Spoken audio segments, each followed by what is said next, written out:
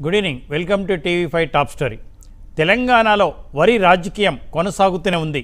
రైతులు పండించిన పంటను కొనుగోలు చేసే అంశంపై మొదలైన మాటల యుద్ధం క్రమంగా కేంద్రం వర్సెస్ రాష్ట్రంగా ఆ తర్వాత బీజేపీ వర్సెస్ టీఆర్ఎస్గా రూపాంతరం చెందింది. రబీ సీజన్ నుంచి పారా బాయిల్డ్ రైస్ కొనేది లేదని కేంద్రం చెప్పడంతో ఈ గొడవ ప్రారంభమైంది.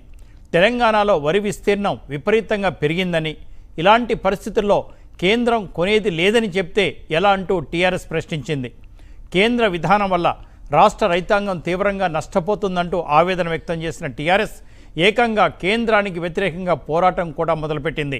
ముఖ్యమంత్రి కేసీఆర్ స్వయంగా మీడియా ముందుకొచ్చి ఢిల్లీ సర్కార్పై తీవ్ర స్థాయిలో విరుచుకుపడ్డారు. అటు పార్లమెంట్లో సైతం టీఆర్ఎస్ ఎంపీలు ఆందోళన చేపట్టి సమావేశాలను సైతం బహిష్కరించారు. అయితే కేంద్రంలో అధికారంలో ఉన్న బీజేపీ నేతలు కూడా టీఆర్ఎస్కు ధీటుగానే స్పందిస్తున్నారు. ముడి బియ్యం కొనేందుకు తమకు ఎలాంటి ఇబ్బంది లేదని ఆ ప్రక్రియ యథాతథంగానే కొనసాగుతుందంటూ కేంద్రం చేసిన ప్రకటనను ప్రస్తావిస్తూ ఎదురుదాడికి దిగుతున్నారు. కేవలం పారాబైల్డ్ గురించే పట్టుబడుతున్నారని మిల్లర్లతో వాళ్ళు కుమ్ముక్కైనందుకే ఇలా చేస్తున్నారని బీజేపీ నాయకులు మండిపడుతున్నారు. ఓవైపు ఈ రాజకీయాలు ఇలా ఉంటే అటు ఖరీఫ్ సీజన్ పంటను కొనేవారు దిక్కులేక రైతులు నానా అవస్థలు పడుతున్నారు. మార్కెట్లకు ధాన్యాన్ని తరలించి పదిహేను రోజులు గడుస్తున్నా వాటిని కొనేవారే లేరని రైతులు వాపోతున్నారు. ఇప్పుడున్న సమస్యకు పరిష్కారం చూడాల్సింది పోయి వచ్చే సీజన్ గురించి గొడవెందుకని అన్నదాతలు ఆగ్రహం వ్యక్తం చేస్తున్నారు. అసలు తెలంగాణలో జరుగుతున్న వరి రాజకీయానికి మూలం ఏమిటి? ఎందుకని కేంద్రం అంత కరాఖండిగా పారాబాయిల్డ్ బియ్యం కొనేది లేదని చెప్తోంది? అసలు ఈ పారాబాయిల్డ్కి ముడి బియ్యానికి మధ్య ఉన్న మతలబేంటి? కళ్ళ ముందున్న ఖరీఫ్ పంటను వదిలేసి రబీ సీజన్ గురించి నేతలు ఎందుకు ఆందోళన చెందుతున్నారు? పారాబాయిల్డ్ ఉత్పత్తి పూర్తిగా నిలిచిపోతే ఆ మిల్లుల పరిస్థితి ఏంటి? చర్చిద్దాం ఇవన్నీ ఇవాళ టాప్ స్టోరీలో.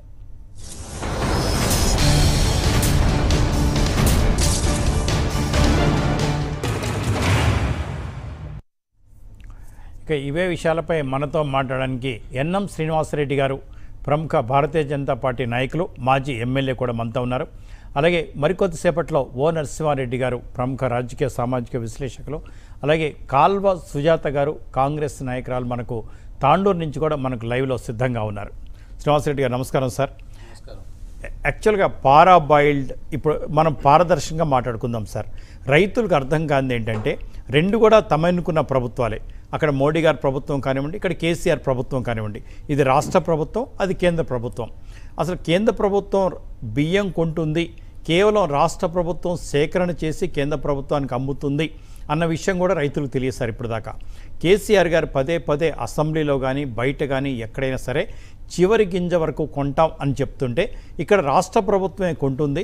రాష్ట్ర ప్రభుత్వ ఖజానా నుంచే కొంటుందని అందరూ అనుకున్నారు. నేను కూడా చాలాసార్లు అట్నే అనుకున్నాను సార్. ఈ మధ్యకాలంలో మొత్తం చూసిన తర్వాత అంటే రాష్ట్ర ప్రభుత్వం కేవలం ధాన్యాన్ని సేకరిస్తుంది తప్ప మళ్ళీ కేంద్ర ప్రభుత్వమే డబ్బులు ఇస్తుంది అని చెప్పి తెలిసి వచ్చింది మరి ఇటువంటి అప్పుడు అన్ని రాష్ట్రాల్లో కొంటున్న మీరు ఒక్క తెలంగాణలో మాత్రం ఎందుకు అని అంటున్నారు? మీరు అన్నమాట వాస్తవం అండి. గతంలో కూడా కేసీఆర్ గారు మీరు అన్న విధంగా ఇక్కడ పంటే ప్రతి గింజను కూడా మేము కొంటామని చెప్పి విస్తృతంగా ప్రజల్లోకి తీసుకుపోయారు. అంతకంటే ముందు ప్రభుత్వాలు కూడా ఐకేపీ సెంటర్ల ద్వారా మహిళా సంఘాల ద్వారా కూడా వడ్ల సేకరణ ధాన్యం సేకరణ అనేది జరిగింది. సో దీంతో ఒక రకమైన ఒక మెసేజ్ పబ్లిక్లో ఏముంది అంటే ఏం చేసినా ఏది బండినా కూడా కొనేది మాత్రం రాష్ట్ర ప్రభుత్వమే అనేది ఒకటి మైండ్లో ఉండింది. అయితే ఇక్కడ కేసీఆర్ గారు దీన్ని లేవనెత్తడంతో సో ఇప్పుడు రైతులు ఇబ్బంది పడతా ఉన్నారు. దానికి కారణం వారే అయినా. ఈ రాష్ట్ర ప్రజలకు కానీ మిగతా వాళ్ళకు కానీ స్పష్టంగా బియ్యం ఎవరు సేక వడ్లు ఎవరు సేకరిస్తారు? సేకరించిన వడ్లను మళ్ళీ ఎవరు కొంటారు? తర్వాత బియ్యాన్ని ఎవరు సేకరిస్తున్నారు? అనేది చాలా స్పష్టంగా అర్థమైంది.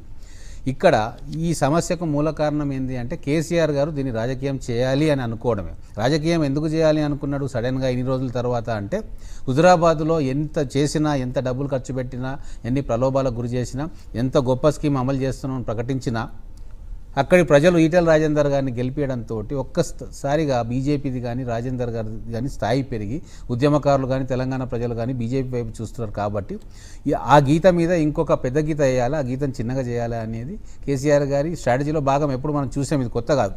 అయితే ఇక్కడ రాజకీయాలు చేయొచ్చుగాక కానీ ఇప్పుడు ఆయన ఎన్నుకున్న సబ్జెక్టు మాత్రం చాలా రాంగ్ సబ్జెక్ట్ ఎన్నుకున్నాడు. రైతుల మాన ప్రాణాలతోటి రైతుల ప్రాణాలతోటి ముడిపడ్డ సబ్జెక్టు ఎంచుకున్నాడు. కోట్ల మంది కుటుంబాలకు ఇబ్బంది కలిగే సబ్జెక్ట్ ఎంచుకున్నాడు. ఈరోజు ఒకటే ఒకటండి నేను స్పష్టంగా చెప్తా ఉన్నా. మీరు కూడా చాలా స్పష్టంగా చెప్పినారు. కేంద్రమే బియ్యంని కొంటుంది. కానీ వివాదం బియ్యంది కాదు కదా. వివా వివాదం వడ్లు. ఏమన్నా తెలంగాణ ప్రాంతంలో ఇప్పుడు వడ్లు వడ్ల బదులు బియ్యాన్ని పండిస్తున్నారా? కేసీఆర్ గారు ఏమైనా కేటీఆర్ కానీ ఐటీ మంత్రి కాబట్టి కొత్త కొత్త టెక్నాలజీతో డైరెక్ట్గా బియ్యాన్ని పండిస్తున్నాడా రైతుల పొలాల్లో? కాదు కదా. అవే వడ్లను సేకరించాలి. మరి ఇరవై ముప్పై సంవత్సరాలుగా ఎలా సేకరిస్తున్నారో ఏ పద్ధతిలో సేకరిస్తున్నారో మరి అదే జరుగుతుంది కదా. ఎందుకు ఈరోజు పారాబల్ రైస్ కేంద్రం కొనను అంటుందంటే దానికి ఒక వ్యాలిడ్ రీజన్ ఉంది. గతంలో కేరళ కావచ్చు తమిళనాడు కావచ్చు ఇంకో కొన్ని రాష్ట్రాలు ఆ రైస్ తినేవాళ్ళు. ఆ కన్జ్యూమింగ్ స్టేట్స్కే ఇప్పుడు అక్కడ ప్రాజెక్టులు కట్టడం కానీ నీటిపారుదల సౌకర్యం పెరగడం కానీ ప్రజల ఆహారపు అలవాట్లో మార్పులు రావడం కానీ దీంతో ఏమైంది అంటే పారాబాయిల్ రైస్ కన్జంప్షను అక్కడ కన్జ్యూమింగ్ స్టేట్స్ అనేది తగ్గిపోయింది.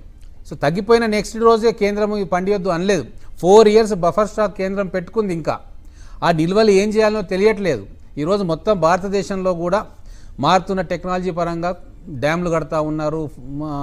వరల్డ్ బ్యాంక్ లాంటి సంస్థలు కానీ మిగతా బ్యాంక్స్ కానీ ఫైనాన్స్ చేస్తూ ఉన్న ఇరిగేషన్ ప్రాజెక్ట్స్కు ఎక్కడికక్కడ ఆయకట్టును ఇంప్రూవ్ చేసుకుంటా ఉన్నారు స్థిరీకరించుకుంటా ఉన్నారు కొత్త ప్రాజెక్టులు కట్టుకుంటా ఉన్నారు చెక్ డ్యామ్లు కట్టుకుంటా ఉన్నారు. ప్రతి నీటి బొట్టు విలువ ఈరోజు భారత సమాజానికి ప్రభుత్వాలకు తెలిసింది కాబట్టి వాటిని నిల్వ చేసుకుంటూ వాటి ద్వారా కల్టివేషన్ పెరిగింది. ఈరోజు ప్యాడీ కల్టివేషన్ అనేది చాలా బ్రహ్మాండంగా భారతదేశం అంతా పెరిగింది. ఆ పెరిగినప్పుడు నిల్వలు పెరుగుతూ ఉన్నాయి. ఆహార ధాన్యాల నిల్వలు పెరుగుతూ ఉన్నాయి. అయితే ఇక్కడ మోడీ గారు వచ్చిన తర్వాత వేర్ హౌసింగ్కు చాలా ప్రాధాన్యత ఇచ్చారు. ఫ్రైట్ కారిడార్స్ ఏర్పాటు చేసి నెట్వర్క్ రైల్వే నెట్వర్క్ కానీ రోడ్ నెట్వర్క్ కానీ ఒక ప్రాంతం నుంచి భారతదేశంలో ఇంకో ప్రాంతానికి లారీలతో కానీ రైల్ నెట్వర్క్ కానీ ఇంప్రూవ్ చేసి రైతులందరికీ కూడా రైతులకు కన్జ్యూమర్కు ఒక కనెక్టివిటీ ఏర్పాటు చేయాలన్న భాగంలో మోడీ గారు కానీ నితిన్ గడ్కరీ గారు కానీ ఇన్ఫ్రాస్ట్రక్చర్ మినిస్టర్ చాలా విప్లవాత్మకమైన మార్పులు తీసుకొస్తా ఉన్నారు. అందరికీ మనకు తెలుసు. అందుకే అగ్రికల్చర్ బిల్లు తీసుకురావడం కూడా ఒక విధంగా ఒక రాష్ట్రంలో సర్ప్లస్ ధాన్యాన్ని మిగతా రాష్ట్రానికి తరలించాలా? సప్లై ఎక్కడ ఉంటే డిమాండ్ ఎక్కడ ఉంటే సమతూకం సాధించాలనే ఉద్దేశంతో చేశారు. సరే అది రైతులు అర్థం చేసుకోలేకపోయారు. అదే అది ముగిసిన అధ్యాయం అయింది ఇప్పుడు. ఇక్కడ తెలంగాణ విషయానికి వస్తే ఖచ్చితంగా ముఖ్యమంత్రి గారు పొరపాటు చేశారు. ఈరోజు వాస్తవంగా వాతావరణ శాఖ కానీ మిగతా అందరూ కూడా వర్షాలు పడుతున్నాయి తుఫాన్ వస్తూ ఉంది. తుఫాన్ తుఫాన్లు వచ్చే సీజన్ ఇది అందరికీ తెలుసు. నవంబర్ డిసెంబర్ ప్రాంతం అంటే తుఫాన్ వస్తుంది. నార్త్ ఈస్ట్ మాన్సూన్ ద్వారా తమిళనాడు కోస్తా కోస్తా ఆంధ్రకు తుఫాన్లు వస్తూ ఉంటాయి. దాని ఎఫెక్ట్ ఆంధ్ర తెలంగాణలో కూడా రాయల్ కర్ణాటకలో కూడా పడుతుంది. ఇటువంటి సమయంలో రైతులను ఆదుకొని ఆ ధాన్యాన్ని రోడ్ల మీద కళ్ళాల మీద ఉన్న ధాన్యాన్ని సేఫ్గా వేర్ హౌస్లకు కానీ గిడ్డంలకు కానీ తరలించాలా అనే ఒక ఆలోచనను పక్కకు పెట్టేసి ఈ హుజరాబాద్ ఎఫెక్ట్ను నలిఫై చేయాలని చెప్పి సడన్గా యూటర్న్ తీసుకొని దాని ఒక అంశంగా ప్రజల ముందుకు తీసుకుపోయి ఇగో కేంద్రం దోషి చూడు డైవర్ట్ చేసే కార్యక్రమం చేసే ప్రయత్నం చేస్తున్నాడు కాబట్టి ఈ సమస్య వచ్చింది. ఎందుకండి? ముఖ్యమంత్రి గారు రాజకీయం చేసే బదులు ప్రొక్యూర్మెంట్ మేనేజ్మెంట్ మీద దృష్టి పెట్టినుంటే అంత నెట్వర్క్ ఉంది అంత యంత్రాంగం రాష్ట్రానికి ఉంది. తీసుకొచ్చి స్టోర్ చేయలేరా? గ్రామాల్లో కానీ ఫంక్షన్ హాల్స్లో కానీ స్టోర్ చేసుకోవచ్చు కదా. ఒక పదిహేను ఇరవై రోజులు నెల రోజులు స్టోర్ చేసుకొని తర్వాత బ్యాంకులతో మాట్లాడి వాళ్ళకి అడ్వాన్సులు ఇప్పించి రిసీట్స్ ఇప్పించి కేంద్రంతో మాట్లాడి అయ్యా మా దగ్గర ఎక్కువ స్టాక్ ఉంది కొద్దిగా లిఫ్ట్ చేసుకొని చెప్పొచ్చు కదా. గతంలో ఎన్నోసార్లు అట్లా జరిగింది కదా. వాళ్ళే చెప్తున్నారు ఒకసారి ఇరవై ఐదు లక్షలు అంటే కేంద్రం నలభైకి పెంచింది అరవైకి పెంచింది ఇప్పుడు తొంభై లక్షల టన్నులు తీసుకుంటున్నారని వాళ్ళే చెప్తా ఉన్నారు కదా.